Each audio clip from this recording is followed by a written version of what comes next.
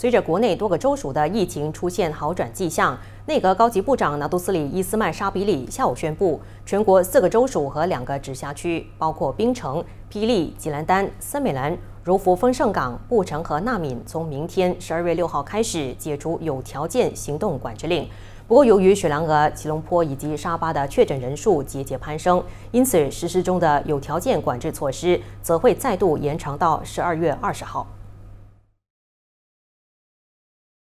Dengan impak semasa dan jangkaan kesan terhadap pemulihan ekonomi dan KDNK negara yang terpaksa dihadapi sekarang jika PKPB terus dilaksanakan. Dijangkakan KDNK negara akan kerugian kehilangan sebanyak 300 juta ringgit sehari jika PKPB diteruskan.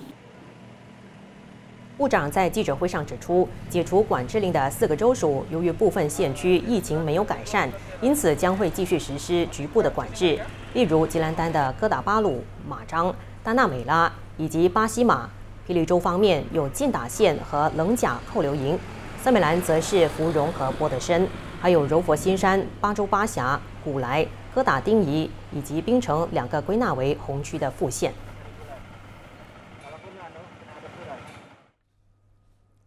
是的，多个州属解除管制令的同时，部长也宣布放宽人民的行动限制。从十二月七号起，解除跨州和跨县的禁令，人民可以自由往来各个州属，不需要再向警方申请准证。不过，这个宽限并不包括实施加强行动管制令的地区。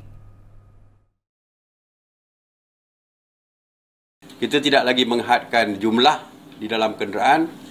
Jumlah adalah berdasarkan kepada kapasiti tempat duduk. Kalau kereta biasa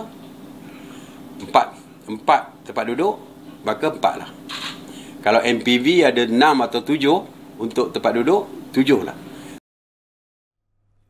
尽管沙巴州的疫情依然紧张，截至十二月三号，累计将近三万宗确诊病例。不过，政府决定解除沙巴的入境限制，向造访沙巴的民众可以入境，但是必须遵守移民局的入境条例。而且必须在入境三天前接受鼻喉拭子检测。